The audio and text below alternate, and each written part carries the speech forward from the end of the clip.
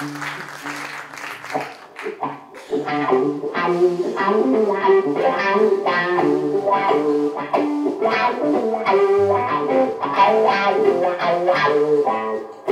wow.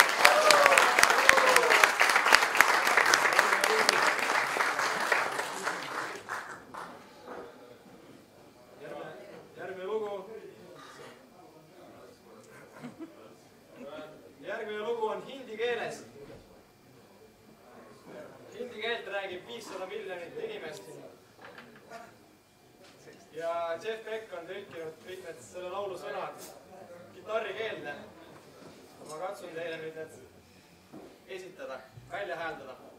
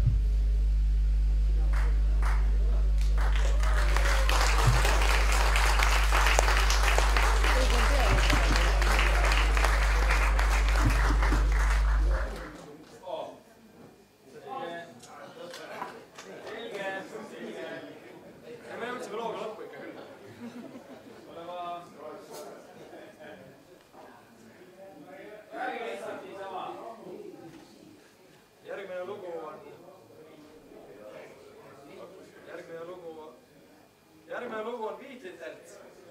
jälle Jeff, Jeff Becki poolt ära tõlgitud. ühendatud lennule sõbrale, kes hukkus autoavariist